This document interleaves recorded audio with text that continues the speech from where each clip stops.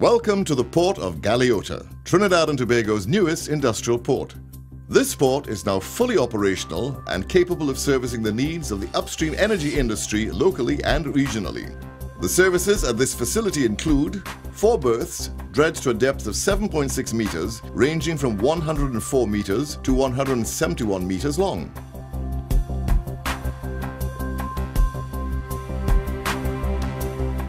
2 million gallon portable and fire water supply, fuel bunkering, laydown facility, logistics support services, 24-hour operations, 24-hour security and customs clearance.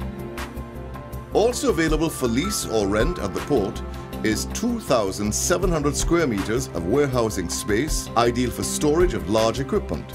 This warehouse includes a 5-ton overhead crane, office space and a cold room for storing temperature-sensitive materials. Located on the southeastern part of Trinidad, this facility provides vital support to exploration and production activity in the East Coast Marine area. At just 272 nautical miles from Guyana Port, the Port of Galeota offers the shortest sailing time to Guyana and is positioned to be your gateway to South America and the Caribbean. National Energy has been managing industrial ports and marine infrastructure for over 35 years.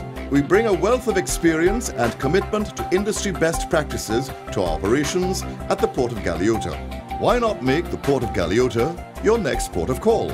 Call us at 868-289-3676 to 8 for service today.